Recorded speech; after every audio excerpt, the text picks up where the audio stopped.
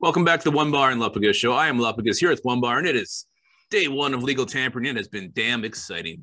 It is. We're going to have a full Vikings recap later today. We're still going to give it some time. Some stuff could happen. So, in the meantime, gonna, there's some players cut by other teams today that the Vikings could have some interest in. Definitely have a lot of interest in these players. I appreciate you looking at your watch to let us know how much time was available. I did I didn't understand it until you did that. So thank you for that.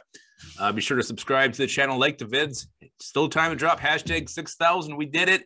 The giveaway has not yet happened. And also, we haven't done our Patreon video, our Patreon um, giveaway yet either for February. So uh, it's too late to do uh, to sign up for that, but uh, do it for March. Sign up for the Patreon. Do it. Sign up for our Patreon.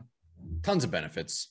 Let's talk about it though. There's three in particular, three guys that got their walking papers today that I would welcome with open yeah. arms. And let's start with the first one. He actually didn't pass a physical, so that's definitely number one concern. But it's Billy Turner from the Green Bay Packers. This guy's played everywhere on the O-line. North Dakota State boys. You know he's going to be a, a, you know a fan favorite at One Bar and show with Ellis Gregor. Uh, oh, he's from Minnesota too. Pimping this guy. So a guy I know you've wanted since day one. Billy Turner was one of your boys. You wanted Dakota Dozier and Billy Turner that year. I did. I did. I think Billy Turner's from Minnesota. Let me know in the comments, but definitely, definitely close. Yeah. He is Shoreview, Minnesota. All right. Yes, Billy Turner. I mean, Packers fans are probably like, oh, laughing. Oh, they want Billy Turner. Huh? Well, well, you know what? Our offensive line could use an upgrade. He played all of right tackle last year for the Packers, but uh, through his career, he's been mostly at right guard. Guess what? We need a right guard. Billy Turner, 30 years old, probably isn't going to cost a ton. And uh, maybe he's a little buffer there until we see what we got in Wyatt Davis.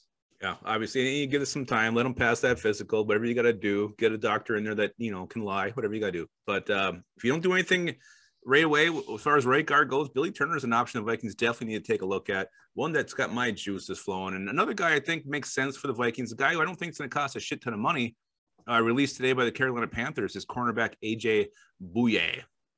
Yeah, he shouldn't cost a ton of money. He's uh he's getting into the elder years for cornerback, but this is this is just a guy that'd be like kind of a one year rental. Um, looking at his last couple years, haven't been overly fantastic. Uh, he was used to, he, I mean, back in 2017, 2018, he was he was one of the top corners out there. But uh, play has definitely dropped off. Depth piece, veteran. Why not? Yeah, why not? I mean, the Vikings still have to create some cap room. They haven't done it yet, so who knows how much they're actually going to have to work with. So we don't know what Eight their bucks. spending budget's going to be. And if you do have an eight dollar budget, AJ Bouye is somebody you can bring in, get that veteran corner. You know, as sad as it is, he'd probably start here from day one. The way this uh, depth chart's oh, looking geez. right now, so uh, it is. Yeah, he's, he's he started seven games last yeah. year for for Carolina. And this is all depends on like Patrick Peterson. I mean, if we bring Peterson back, we probably don't want another one, but if if we, we need it, we need an elderly man back there to show the ropes because we're definitely drafting a guy early in the draft. We need the uh, Alec Baldwin to the fleet that stormed the Pearl Harbor shores. Yes, we do. Yes, we do. We got one more. Who is it? This is the one that this is the reason for doing this video. This is the guy that I want. Uh, I hate playing against him because he's a cocky son of a bitch. But man, if you had him on your team, and when we got Mike Smith over here to be linebackers coach, he tweeted big old eyes. Uh, so I think there's some interest. Darius Smith he would look damn good in purple. He would. I mean, 2019, 13 and a half sacks for the Packers. 2020, 12 and a half sacks. Uh, and, and last year he was hurt, but um, still 29 years old. Seems like he should be like 47. Yeah, but you got you got Mike Smith, Mike Pettine here, and you know how how sweet would it have to be to have this guy on your team, knowing oh. every time you play the Packers, he's gonna go 200 percent trying to make them look bad, coming after Rodgers. You know damn well he's me trying to eat Rodgers nuts every single snap, and I would love to see it. Get Za'Darius Smith here. Forget everybody else. Get Za'Darius here. We it, pitch in that three four hot shit. Go after the quarterback every play.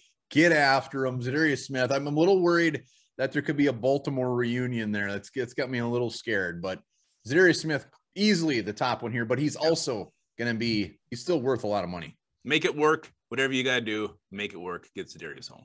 Work, work him on one side, Danielle Hunter on the other side. If you're a quarterback, you're wearing a diaper because you have tons and tons of shit in your pants.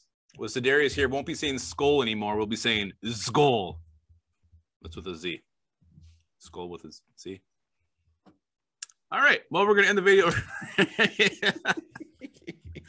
we're We're gonna go ahead and end that right there. Uh, let us know if there's anybody else who was released today that tickles your fancy that you want to bring here. I'll be crazy if I mention these guys or not. And do not forget, we will be back later with a day one full recap. Hopefully, yeah, keep looking at that watch. Hopefully, there's a little more Vikings news that we can talk about. But uh, until then, guys, remember this: chickens, those damn feathered friends of ours, are 75% water.